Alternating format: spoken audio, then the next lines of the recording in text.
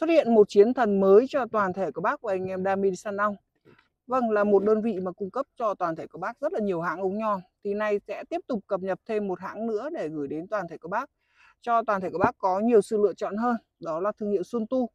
Thương hiệu này thì nếu mà anh em nào mà có từng uh, sử dụng những chiếc ống nhòm với thương hiệu EK thì chắc chắn là Sơn Tu là anh em cũng không lạ lẫm gì và nay thì nó đã cập bến tại shop và shop sẽ gửi đến toàn thể các bác cái mức giá mới nhất ưu đãi cho toàn thể các bác của anh em. Với chiếc Xuân Tu này thì à, thông số mà bên à, cơ sở đang cung cấp đến toàn thể các bác của anh em có thông số là 10 x 42. Riêng dòng Xuân Tu này thì sẽ không có 8 x 42 nhé toàn thể các bác nhé, không nhập 8 nhân đâu. Về phụ kiện thì à, xem nào. Cái túi này của nó rất là hay.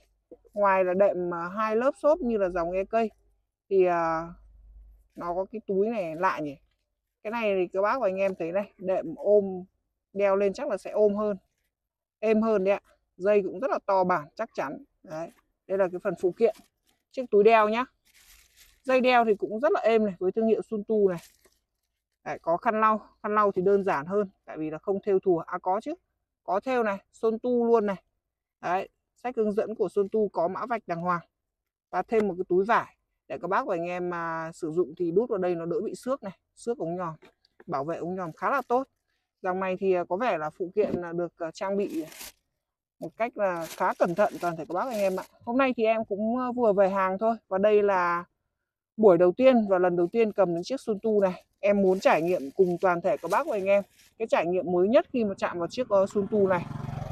À, cũng có những cái cảm nhận đầu khi mà các bác và anh em cũng cùng em trải nghiệm xem cái cảm nhận ban đầu về chiếc Sun Tu này như nào. Đấy, cầm chân tay thì thấy nó khá khá là đầm tay các bác ạ. Chắc và có vẻ như là có cái chiều dài à, dài hơn so với thương hiệu EK đấy. đấy đây là cảm quan khi mà em cầm tới. Đây là series gì? Series ờ, phi gì đây này.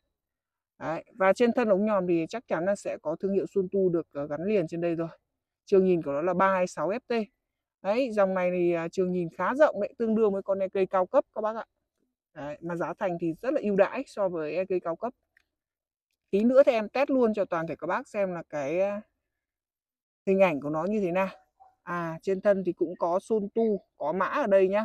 Nên là các bác và anh em yên tâm là sẽ không bị hàng giả hàng nhái.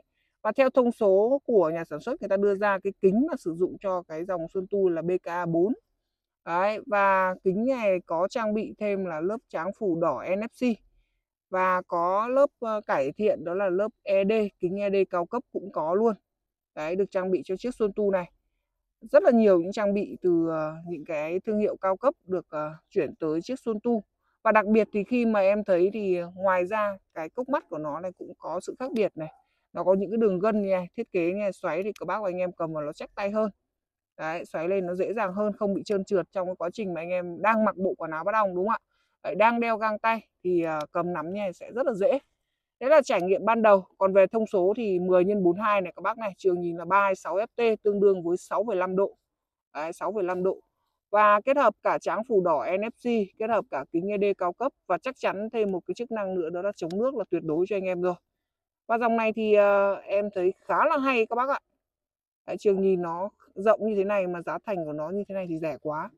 Quá là rẻ luôn. Bây giờ thì sẽ mời các bác và anh em cùng trải nghiệm xem là cái hình ảnh thực tế khi mà chiếc ống nhòm này nó có đem lại cho toàn thể các bác ờ, đúng như là những cái lời mà các bác đồn hay không.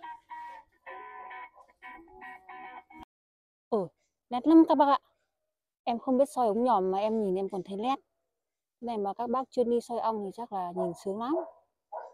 Đã lắm. Ô dòng này mới mà nhìn rõ nhỉ? Ôi, đây là lần đầu được trải nghiệm con Sun Tu.